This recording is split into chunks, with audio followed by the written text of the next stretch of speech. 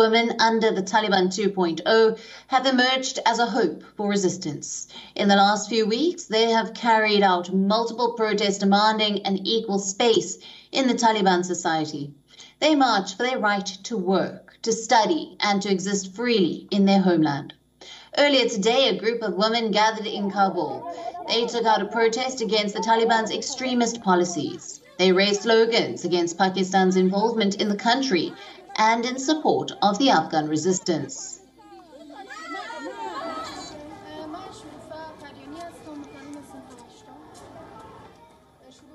ما اشغال پاکستان و هیچ کشوری را در کشور خود نمی‌خواهیم و هیچ کابینه بدون حضور زن و هیچ جامعه بدون حضور زن پیشرفت و ترقی نخواهد کرد و ما هم صدا و هم نوا هستیم The protesters held placards that read, Say no to violence, stand with Panjshir, and long live Afghanistan.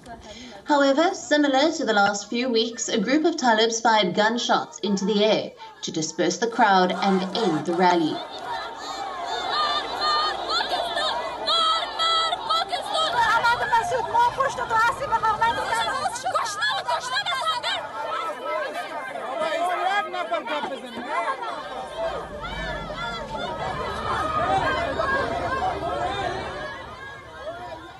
The protests come as earlier in the week, Taliban's interior minister and head of the terror group Haqqani Network, Sirajuddin Haqqani, said that the people need to take prior permission before staging demonstrations and that they need to get all slogans and placards approved from the Taliban authorities.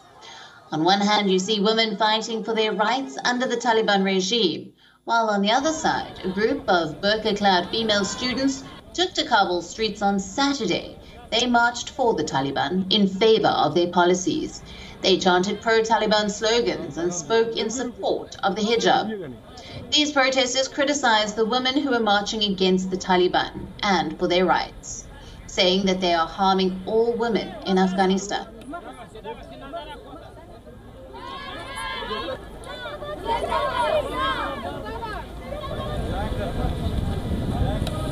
भाई आगे नहीं आमिर